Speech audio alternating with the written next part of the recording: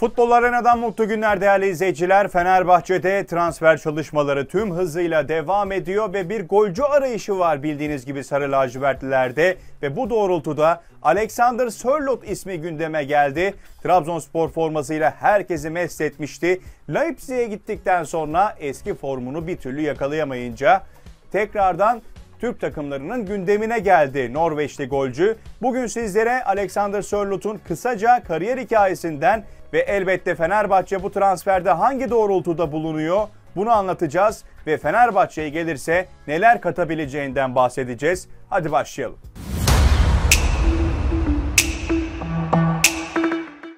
Alexander Sörloth 5 Aralık 1995'te Norveç'in Trondheim bölgesinde dünyaya geldi. 1.95 boyundaki yetenekli ve başarılı futbolcu için futbol sporunun çok özel ve ayrı bir anlamı var. Neden mi? Çünkü futbol Alexander Sörloth'a ailesinden kalan bir miras. Babası da futbolcuydu Hatta bir dönem Bursa Spor'da forma giymişti. Kendisi de tıpkı oğlu gibi yıllarca forvet olarak oynadı ve Sörlot'un golcü kimliğinin nereden geldiği de işte bu şekilde anlaşılıyor elbette. Norveçli yetenekli futbolcu ülkesinin takımlarında amatör olarak kariyerine başlamıştı. RBK'nın altyapısından yetişti ki birçok Norveçli futbolcu bu takımın altyapısından dünyaya kazandırıldı. İşte bu takımda Sörlot'u kazandırdı dünya futboluna ve 2016 yılında Hollanda'nın Groningen takımına 550 bin euro karşılığında transfer oldu. Bir yıl sonra ise Midtjylland takımına 450 bin euro karşılığında transfer edilmişti.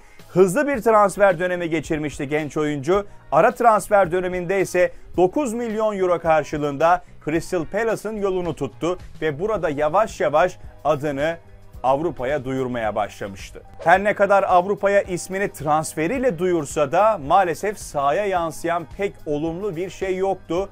Alexander Sörloth Crystal Palace'tan ayrılmak durumunda kaldı. Önce kulübü onu Gent'e kiralık olarak gönderdi ancak Trabzonspor'da muhteşem bir çıkış elde etti. Tam 49 maçta 33 gol atarken 11'de asist yaptığı yetenekli oyuncu ve burada sergilemiş olduğu performans ona Almanya'nın kapılarını açtı. Leipzig'e 20 milyon euro karşılığında transfer oldu ancak burada çok da iyi bir performans sergileyemeyince Alexander Sörloth'un ismi önce Trabzonspor'la daha sonra bu videoyu çekmemize vesile olan Fenerbahçe ile anılır oldu ve Fenerbahçe bu transferde ne doğrultuda hadi gelin onu anlatalım. Şimdi Leipzig yönetimi oyuncuyla yolları ayırma kararı aldı ve şöyle bir gelişme var. TRT Spor'da geçen habere göre Alman gazeteci Guido Schäfer TRT Spor'a yaptığı açıklamada Sörlot'un kulübünün beklentilerini karşılayamayacak bir profilde görüldüğü ve bu nedenle yolları ayırma kararı aldığını duyurdu.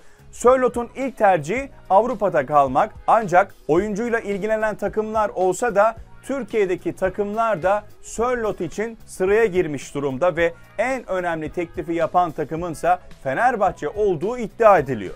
Leipzig yönetimi Türk temsilcileriyle yani Türk takımlarıyla görüşmelerini sürdürüyor ve bu doğrultuda Fenerbahçe'nin isminin ön plana çıktığını söylemişti Şefer. Bakalım önümüzdeki günlerde neler olabilecek. Biz her zaman olduğu gibi şimdi Sörlot'u Fenerbahçeli yapacağız. Sörlot'un nasıl bir oyuncu olduğunu az çok zaten Trabzonspor'dan biliyorsunuz.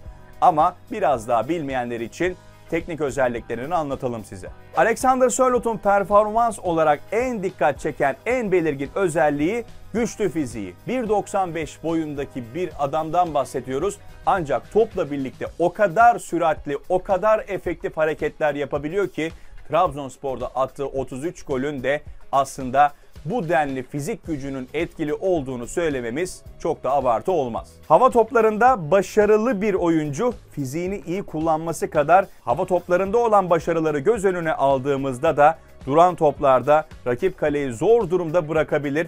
Kaldı ki duran top ustası birçok oyuncu var Fenerbahçe'de. Başta Mesut Özil ve Sosa olmak üzere yani Sörlot'u besleyebilecek birçok oyuncu bulunuyor Fenerbahçe'de.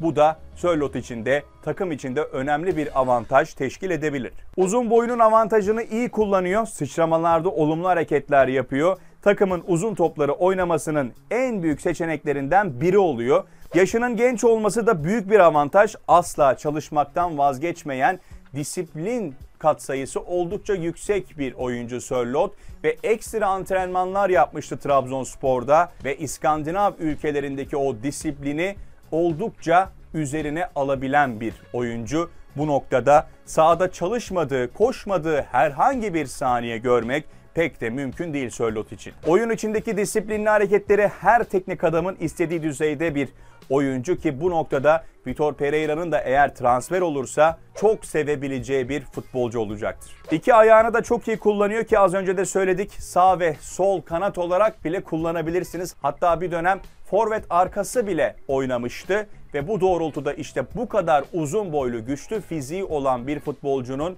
neredeyse bir kanat oyuncusu kadar topla birlikte hızlı olması her takımda bir avantaj yaratır. Hızlı bir oyuncu, ceza alanı etkinliği oldukça yüksek bir oyuncu ve her şeyden önemlisi sahada çok çalışkan bir oyuncu.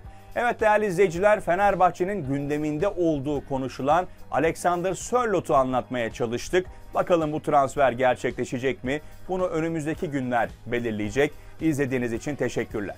İzlediğiniz bu videoyu beğendiyseniz beğen tuşuna basmayı unutmayın. Ayrıca içeriklerimizden haberdar olmak istiyorsanız abone olup bildirimleri açabilirsiniz.